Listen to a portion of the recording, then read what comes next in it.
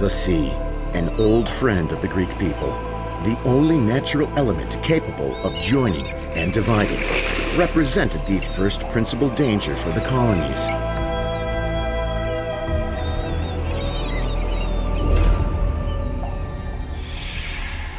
Salute a te, o Siracusa.